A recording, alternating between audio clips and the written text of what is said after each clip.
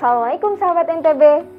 Sahabat tahu nggak, tanggal 19 September 2020, Gubernur Dr. Haji Zulkifli Mansyah dan Wakil Gubernur Dr. Hajah Siti Romi Jalillah genap 2 tahun memimpin Nusa Tenggara Barat.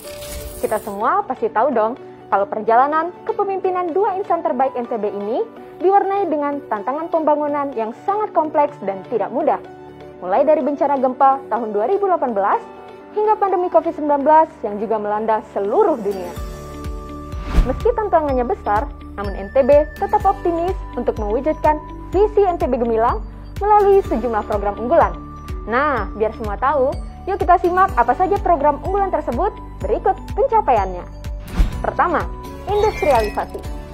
Ini merupakan salah satu program unggulan yang fokus mendorong pertumbuhan dan pengembangan sektor industri IKM UMKM serta industri permesinan di NTB.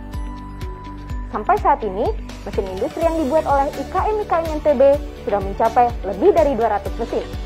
Ada mesin pencacah sampah, mesin pemipil jagung, mesin mixer pakan ternak, sepeda motor listrik, dan masih banyak lagi.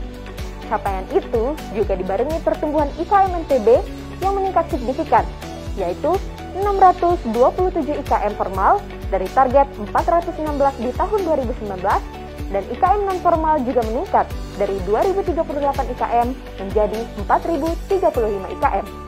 Kedua, NTB Zero Waste. Ini adalah program unggulan pemerintah Provinsi Nusa Tenggara Barat yang berfokus pada pengolahan sampah sebesar 70% dan pengurangan sampah sebesar 30% di tahun 2023. Hingga akhir 2019, realisasi pengolahan sampah telah mencapai 37% dan pengurangan sampahnya telah tercapai 7%.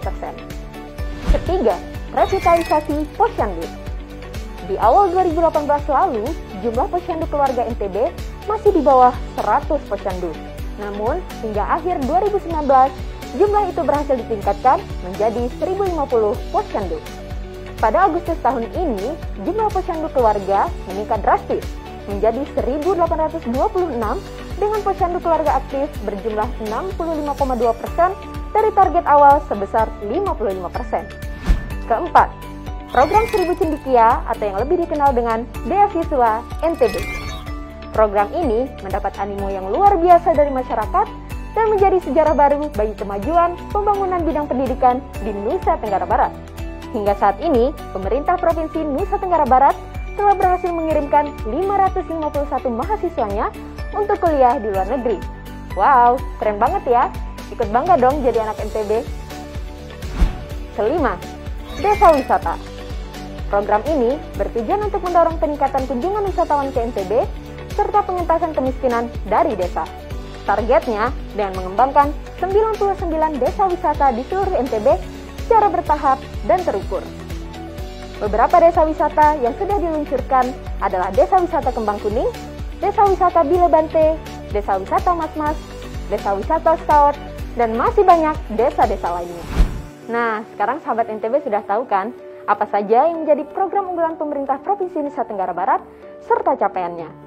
Kita semua tentu menyadari bahwa percepatan pembangunan sangat dibutuhkan agar Nusa Tenggara Barat bisa menjawab tantangan dinamis dan perubahan zaman yang drastis.